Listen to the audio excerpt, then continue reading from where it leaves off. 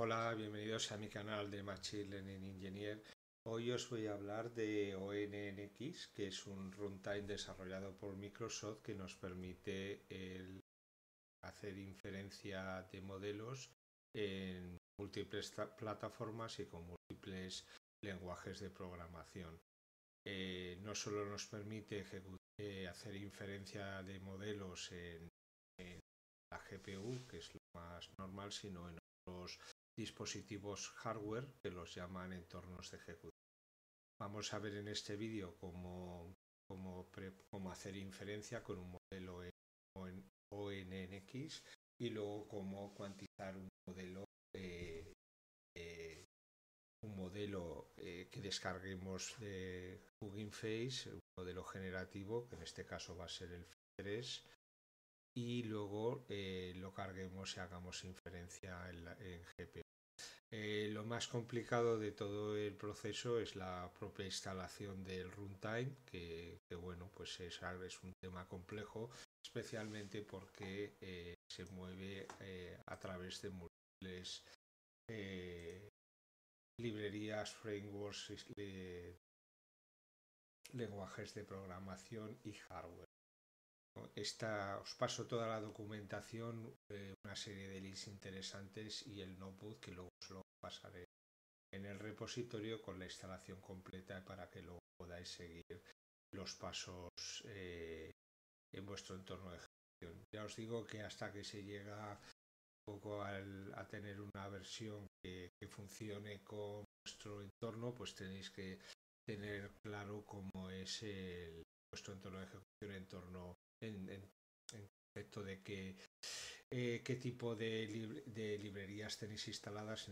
por ejemplo, si vais a hacer, ejecutar en, en un entorno Windows, eh, cómo vais a quererlo hacer, si vais a quererlo hacer con, con en la CPU, en la GPU, lo mismo para Unix. Eh, también si qué tipo de CUDA toolkit si vais a tener que si vais a querer ejecutar esto en la eh, la GPU o si lo vais a querer ejecutar en DirectML. O sea, hay, una, hay un montón de posibilidades. La verdad que este framework es bastante potente, lo desarrolló Python con el, con el objetivo, podéis leeros la documentación, bueno, entrena en Python y luego hace inferencia donde quieras, ¿no? Como veis aquí, deploy en César, C++, Java, pero incluso hay muchísimo más, ¿no? Cuando veamos ahora el, el por ejemplo, el tema de, de los lenguajes de programación, como podéis ver aquí hay Python, C++, Java, JavaScript, Objective-C para dispositivos móviles, eh, ya móviles, exactamente, Julia, Ruby. O sea, hay un montón de, de, librerías desarrolladas donde luego puedes cargar un modelo eh, ONNX y hacer inferencia. siguen manteniendo el tema de, por lo que he visto, del tema de entrenado en Python y la transformación del modelo a, una versión cuantizada en, Python, pero luego puedes usar inferencia en cualquiera de estos lenguajes. Otra cosa interesantísima que tiene ONNX es el tipo de dispositivo donde puedes cargar los modelos, donde hay una serie de runtimes donde eh, este, tú puedes cargar cualquier modelo eh, en, en, este formato y, y, hacer la inferencia en ese hardware. Desde plataformas Intel, o sea, con OpenVINO o de o OneDNN, CUDA, TensorRT, como veis aquí, DirectML, DirectML, que esto es una, una opción que ya hemos visto en el canal también, es un poco más lenta que, el CUDA Toolkit, pero bueno, te, accede a la GPU también en, un entorno Windows. Y como veis aquí Qualcomm, Android, Apple, o sea, hay un montón de cosas, esto es lo que mantienen ellos de momento y luego hay otros que mantiene la, comunidad, una comunidad. O sea, incluso como veis hay Cloud Azure, esto es para, por supuesto, para Azure Machine Learning Studio. Y bueno, la verdad que es bastante potente, sobre todo si tenéis intención de hacer algo para un eh, dispositivo móvil. Esto le tenéis que echar un vistazo porque en definitiva parte de, de, todo el background o la historia que hay detrás de este entorno era para esto precisamente el tener eh, una serie de, de, modelos que entrenabas en una máquina convencional pero que luego podías desplegar a, dispositivos móviles o dispositivos embebidos y ahí hacías la inferencia. Eh, esto hoy día se utiliza bastante, este, este, este runtime, o sea que también os recomiendo que lo tengáis en vuestra, bueno, pues en vuestra serie de herramientas que conocéis para ver, al menos tener una idea de lo que podéis hacer, eh, de lo que podéis hacer con él. ¿De acuerdo? Bien, eh, para la parte que vamos a ver hoy, eh, que es la parte de IA generativa, porque bueno, tiene distintas opciones, como vais a ver aquí, está integrado directamente en PyTorch y luego pues tiene una integración con TensorFlow, con Hugging Face Transformer, aquí he creado otro, otro notebook que, con ese tema, como veis, para cada tipo de, entorno incluso IoT, Raspberry incluso. O sea, podemos desplegar un modelo, un modelo al Raspberry Pi y el, tradicional ML como pueda ser Scikit-Learn hacer y como os veis aquí diferentes tutoriales solo aquí no está todo lo que se puede hacer eso ya os lo digo eh, hay un montón de cosas que, que faltan aquí pero para que os hagáis una idea y luego hay una parte eh, pues bueno, hay diferentes runtimes, depende del objetivo que tengas con cada uno de ellos o donde vayas a ejecutarlo. Y luego está la parte de IA generativa, que es lo que vamos a ver hoy. Eh, hay una serie de tutoriales y puedes en principio correr mm, o tienen el, el, entorno probado. Bueno, aquí hay unos tutoriales, pero veréis luego en la documentación que, si no me equivoco, la tengo aquí, dejarme un segundo que os la encuentre, que es el eh, runtime eh, GNI. Este, eh, según la documentación, puedes eh, correr la MAFI, GEMA y Mistral en, en el entorno ONX. O sea, solo tienes que tener el, el, como veis aquí en también está Whisper. Eh, solo tenéis que tener el modelo convertido en ONNX y luego lo cargáis y hacéis inferencia. Cuando digo lo cargáis, lo cargáis en cualquiera de los hardwares que tenéis descritos en la documentación o lo que os, soporte. Platform, Linux, Windows, arquitectura y hardware Accelerator. Esto os lo pone aquí para, para la IA generativa. O sea, aquí también os recomiendo que como os decía antes, lo más complejo es tener, eh, instalar el runtime adecuado al hardware que tienes y al, y al el conjunto de librerías y, entor y de librerías y entorno que tienes, porque eso es lo que bueno va a hacer que, que, que, funcione o que fracase, en pocas palabras. Como veis aquí, el AMA también eh, te permite Codelama, eh, Vicuna, G y otros, arquitectura eh, y Mistral, el CF. Son familias, como os dice aquí, similares. O sea, cuando si empezáis una cosa, algún, algún tema, yo como sabéis estoy trabajando en cosas con el con el FI3, por eso me he acercado a este entorno como también al, al tema de cuantización con, el AMA CPP porque tengo que optimizar los modelos que vayan más rápidos, que cueste menos el, la, la, inferencia y una serie de cosas más. Con lo cual eh, hay que irse a un, a un, entorno de este tipo, ya que eh, bueno, los modelos per se eh, en Python, pues ya sabéis que, van más lentos y requieren más, más. Bien, vamos a ir al, al, notebook. Pues como os digo, os paso toda la instalación.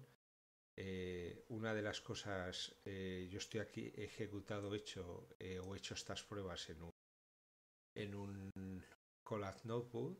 En Pro Notebook con una L4 que va, vamos, más que sobrada. Estoy pensando hacerla en mi máquina porque en las pruebas las he hecho con un modelo cuantizado a, Integer 4 y, bueno, solo se necesita un gigabit de memoria, 1.25 gigabit pues, en la GPU, con lo cual en mi GPU funcionaría. Solo mi GPU tiene 4 gigabits, o sea que si tienes el entorno correctamente instalado, con la versión de CUDA Toolkit, la versión de QDNN NN correcta y la versión del eh, ONNX Runtime GenAI CUDA, que tiene que ser también la apropiada para vuestro runtime, pues en principio os debería funcionar. Si los, una vez que terminemos este, lo prepararé y ver también si, claro, esta, esta GPU pues está más que, más que sobrada. Veis aquí, esto bueno, he cargado otro modelo en memoria, o sea, aquí ahora hay dos modelos cargados. No el, el, dos, uno cuantizado con un tamaño y otro sin cuantizar. Bueno, vamos a ver la instalación. Eh, por un lado montamos el drive, eh, luego eh, cargamos una serie de, librerías.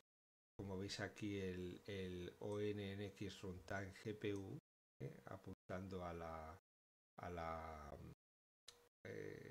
a la versión del CUDA Toolkit que tiene. Si no sabéis qué versión de CUDA tenéis, directamente os vais aquí y hacéis un NVIDIA SMI y vais a saber la versión de CUDA que tienes. Si tenemos una 12.2, pues eh, tenemos que utilizar eh, la versión adecuada del, del runtime para que eh, digamos cargue también las librerías adecuadas. Como sabéis, esto tiene también bindings con con C, con lo cual todo esto tiene que estar, digamos, bastante tiene que estar correcto para que funcione bien. Entonces, aquí instalamos el, runtime GPU. Hay distintas opciones en la documentación que os paso.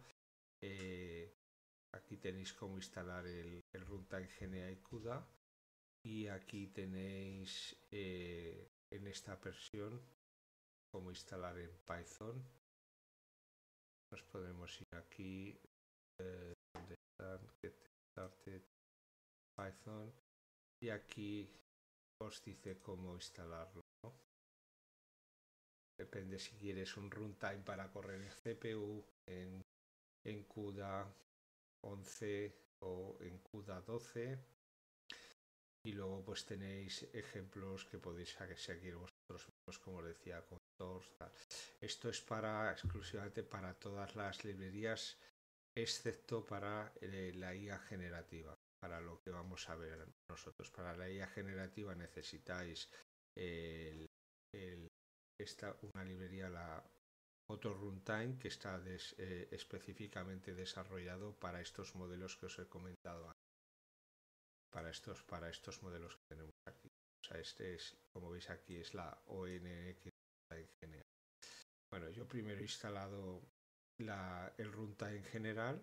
Luego, en el Colab no tenemos QDNN instalado por defecto, con lo cual he tenido que instalar el adecuado, que es una versión 9, que si no me equivoco lo tengo aquí también. Aquí está. Una, una QDNN 9 con soporte eh, de CUDA Toolkit 12. Entonces, bien, instalamos el runtime GPU, luego instalamos las librerías que necesitamos. Luego instalamos el runtime GNI CUDA, también con soporte eh, CUDA 12, porque tenemos una 12. Instalamos el QDNN y bueno una vez que lo tenéis pues echáis un vistazo a las librerías que tenéis instaladas. Python recomienda o las pruebas que tienen hechas en el en la web es con una 2.1 aquí tenemos una 2.3 pero funciona. Y el, el runtime que tenemos el ONX runtime es el último que tenemos y el ONNX que hemos cargado es el 14.1 que no es el último, el último es 16 y esta versión de Transformers también es eh, más vieja esto, esto está eh, digamos copiado del anterior ejemplo que he hecho con Transformers pero bueno eh, ha funcionado aquí está haciendo una prueba con Transformers que os la pasaré también a, en, la descripción del vídeo.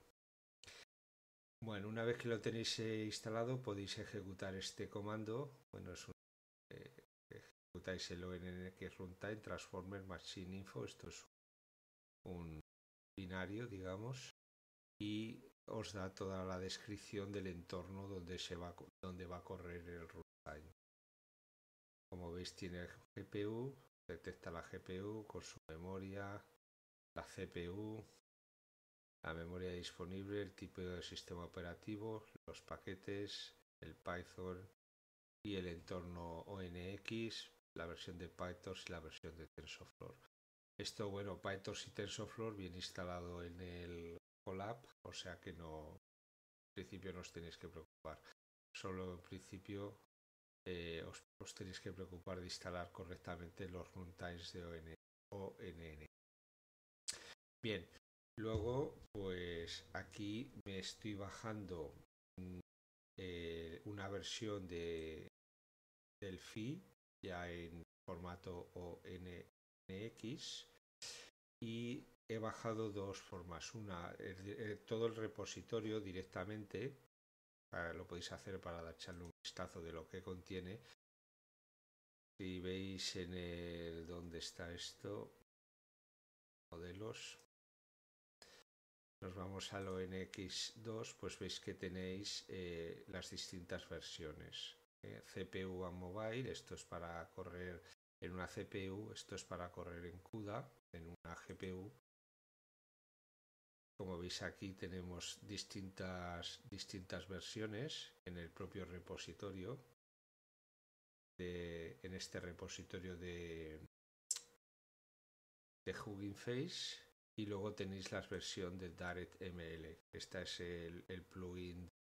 Esto, esto, como bien sabéis, eh, eh, eh XL, si lo recuerdo mal, se llamaba Direct, DirectX. DirectX eran los aceleradores para gráficos que había de toda la vida en Windows. Luego han sacado el DirectML para acelerar eh, Machine Learning. ¿no? O sea, esto es para poder ejecutar con. Esto es un, un programa de Windows que te va a ayudar a. Sea, no tienes que instalarlo, como os digo, porque esto viene ya en los Windows modernos, viene ya instalado y se actualiza con el propio sistema operativo. O sea que esto es, si vais a si vais a hacer inferencia en un entorno Windows, pues es prácticamente lo más adecuado. Solo os digo que va un poco más lento, o por lo menos en las observaciones o los experimentos que hice, va bastante más lento que lo que iba el, el modelo la GPU. Pero bueno, eh, en principio eh, hace uso de la GPU y, y de la CPU, en el DARETML y bueno, eh, en principio para un entorno Windows pues sería uno de los más sencillos a utilizar porque no tienes que instalar ni CUDA ni nada de nada en Windows, o sea, directamente puedes utilizar este plugin. Ahora aquí estamos en un entorno Unix, con lo cual vamos a poder utilizar cualquiera de estas tres. como os digo, esto es una forma de bajarlo. Aquí tenemos los, los modelos CPU, también Integer 4 y aquí los tenemos eh, eh, para CUDA el Floating Point 16 y dos Integer 4 uno para 128 y otro para 32 bien eh, otra forma de bajarlo es con la CLI de Hugging Face y solo bajas el que te interesa esta es la opción que he hecho yo al principio. Y bueno, una vez que lo has bajado, para, con este comando lo bajas a un directorio local, que es el que tengo aquí. Y como veis, solo, bueno, eh, esto lo he bajado posteriormente. Digamos, solo te crea este entorno, este, este, esta carpeta que es el modelo que quiere que quieres utilizar. Bien, la primera prueba la vamos a hacer con este modelo. Bueno, pues con el cargamos el ONNX runtime de GenAI y cargamos el modelo. El modelo solo apunta al pad. Esto en principio, eh, vamos a hacer otra prueba con otro lenguaje de programación, y pensando en hacerlo en C, C Sharp o C++, y veremos cómo esto prácticamente es lo que veas aquí a partir de ahora es lo mismo que vas a hacer con otro, con otro lenguaje en cualquiera de los que tenemos disponibles en viendo que esto, por lo que he visto, también lo tenemos disponible para Raspberry Pi, para Raspberry Pi, pues vamos a ver si yo tengo una Raspberry Pi por aquí y vamos a ver si podemos hacer también algo eh, con la Raspberry, con el dispositivo Raspberry. No sé si haremos algo con un, con un,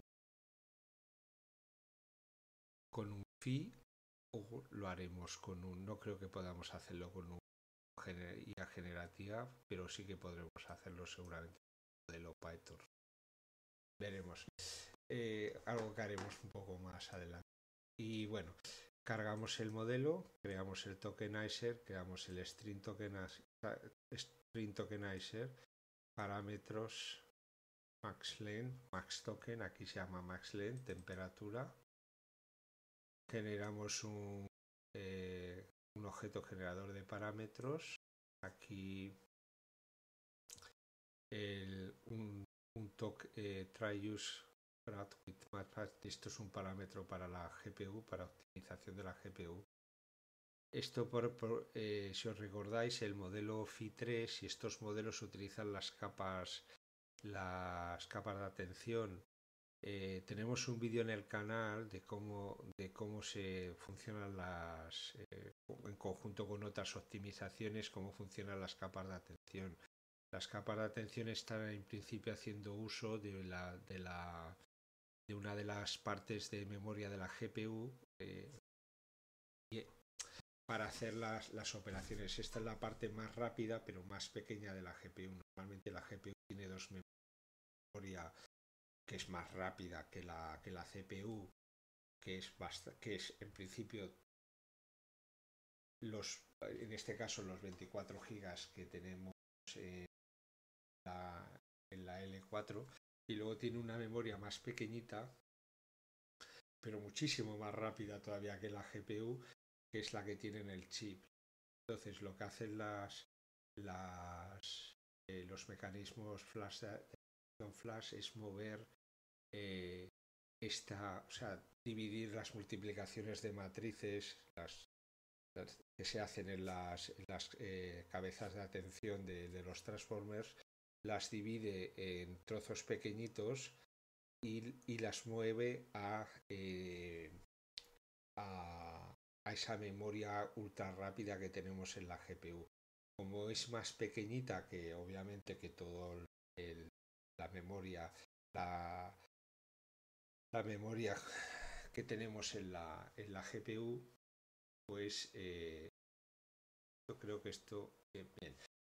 Eh, es bastante más rápida entonces eh, que la memoria que tenemos en la GPU, pues eh, esas operaciones que se hacen, que son particiones, o sea, trozos de las, de las multiplicaciones de matrices que hacemos para calcular el, eh, digamos, durante la inferencia, eso se, esto en, los, en las GPUs que, pueden usar y los modelos que hacen uso de los mecanismos flash attention, en vez de hacerlo en la memoria, digamos, convencional de la GPU, lo hacen en esa memoria ultra rápida, con lo cual van muchísimo más rápidos. Entonces, claro, lo que hay que hacer es eh, eh, le mandas un parámetro como, como este para que si tiene acceso a, a, a la flash memory esta que tenemos en la GPU, pues que la use. Bueno, entonces más parámetros aquí, o sea, creamos, eh, se los añadimos al, al, objeto generador de parámetros, creamos el prom, codificamos el prom con el tokenizer, esto se lo pasamos al params eh, como al objeto parámetros. Como veis aquí esto es un poquito diferente a cómo utilizamos el modelo generativo normalmente y luego eh, aquí le pasaríamos al generador tanto el modelo como los parámetros. Esto es para hacer, esto es una forma de hacerlo con el streamer, eh, con el tokenizer string y la otra manera de hacerlo es directamente le pasas al modelo los parámetros y en los parámetros ya le has pasado el texto. Entonces esto vamos a ejecutarlo de nuevo y vamos a cargar el modelo. Cargamos el tokenizer. Generamos el, output. Como veis va bastante rápido. Vamos a hacer una medida del tiempo en un segundo un segundo. Bien ya lo tenemos preparado vamos a ejecutar esto y ahora vamos a ver lo que tarda en hacer eh, o sea dos segundos. No sí dos segundos 30 30 eh, 30 centésimos como veis el, el modelo va bastante rápido está cuantizado a 4 o sea que el modelo es bastante pequeñito. Creo que podemos ver el eh, si nos vamos al drive tamaño de del, del modelo que como veréis es bastante pequeño. Esto estaba drive my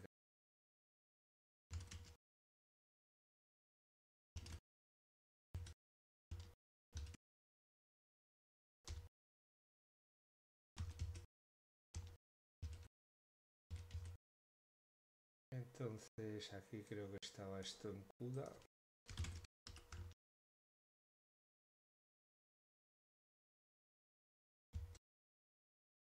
Y aquí vamos a ver cuánto tiene el modelo. Ah no 2,2 2,2 gigas. O sea, el modelo este tiene 4 gigas y pico el original. En total está bueno reducido prácticamente a la mitad Bien. Como veis aquí, eh, pues nos da una respuesta. En fin. He hecho, no he hecho la prueba que estaba haciendo estos días atrás, que era una clasificación de documentos. En el siguiente vídeo prometo hacerlo. Tenemos otra otra forma de generar, que esto es generar token a token. Y bueno, genera lo mismo.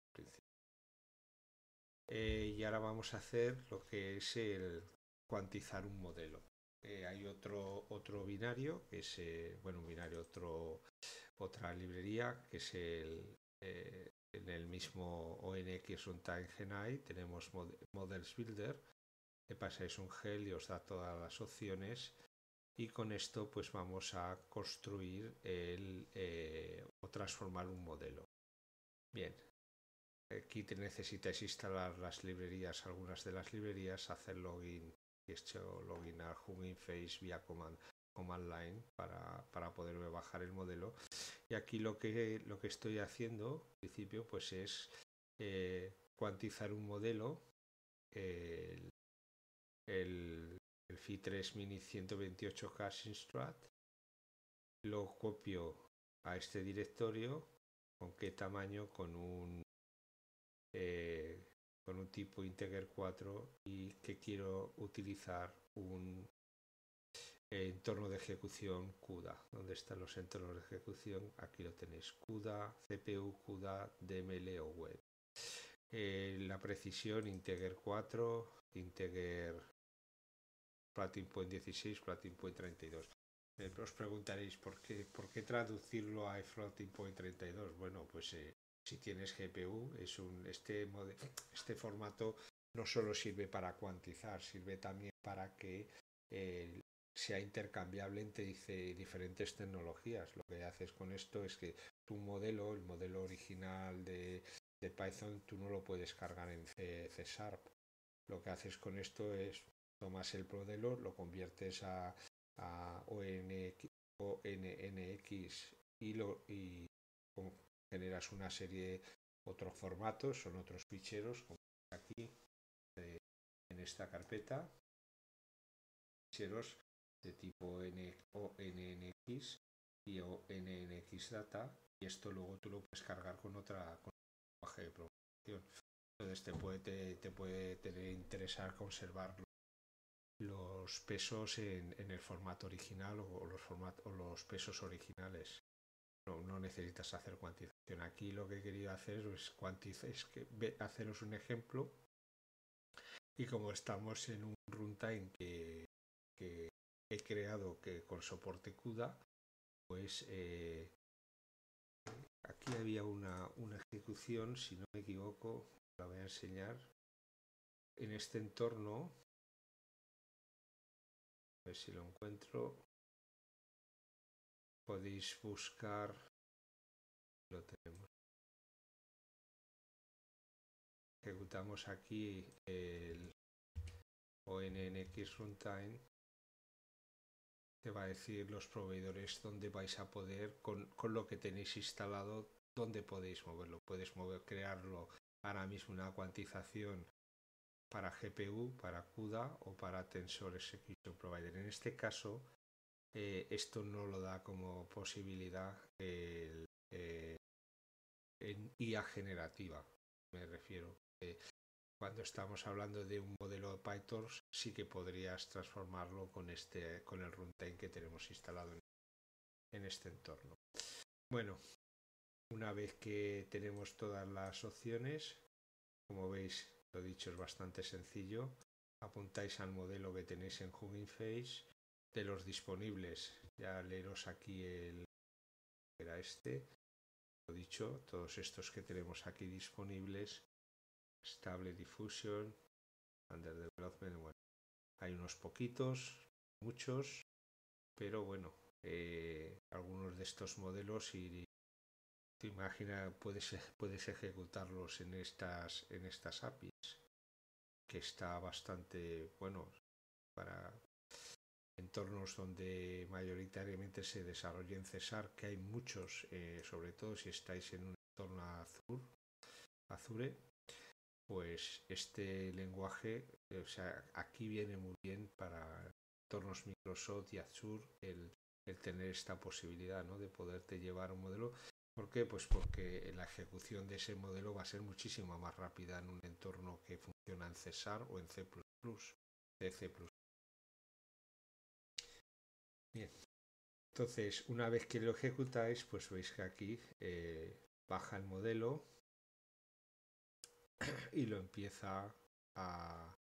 baja todos los tensores, lee las, las capas del modelo y lo empieza a, a convertir. tarda un ratito, no mucho, y una vez que ha, que ha terminado, pues lo, eh, lo tenéis en la carpeta, en este caso fi, ciento, bla, bla, bla, y como veis, tenéis algo similar a lo que acabáis de ver en la otra, que es pues el modelo ONNX y el data, podemos verlo también en la línea de comandos, para que veáis poco los tamaños que tenemos.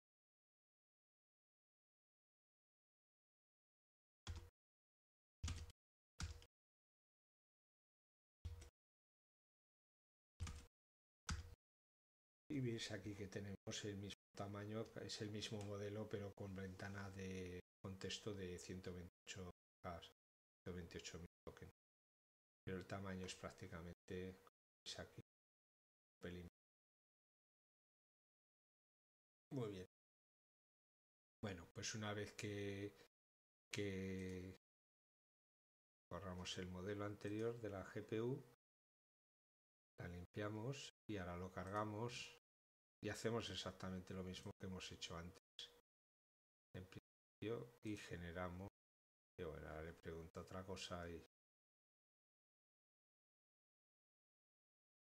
y genera el, el contenido. Pues bien, ya veis que ya os digo, el tema, el, tema es bastante más complicado que otras de las cosas que hemos visto anteriormente, pues porque requiere, bueno, sobre todo requiere leerse la documentación eh, completamente y tener una, tener una idea muy clara del entorno eh, donde, donde vas a, eh, a correr la inferencia, ¿no?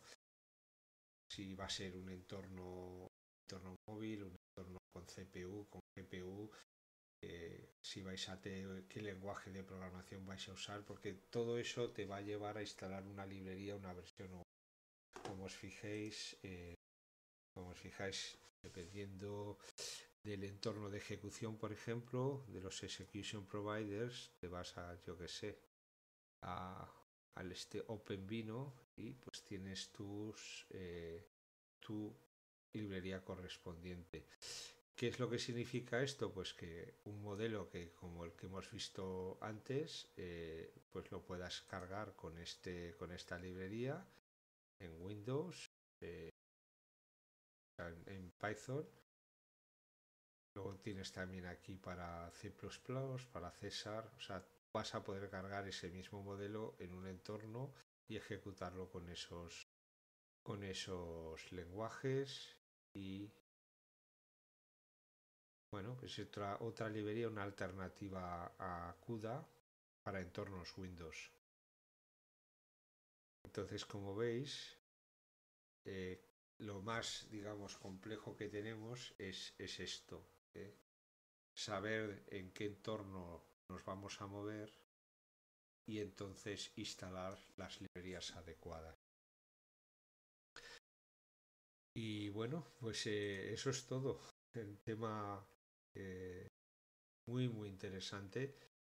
Eh, y vamos, yo veo que esto, sobre todo para aquellos que estéis pensando en tanto en, hacer o en empezar a usar modelos en otros lenguajes o, en dispositivos Edge, como llaman, o que son dispositivos embebidos y, dispositivos móviles.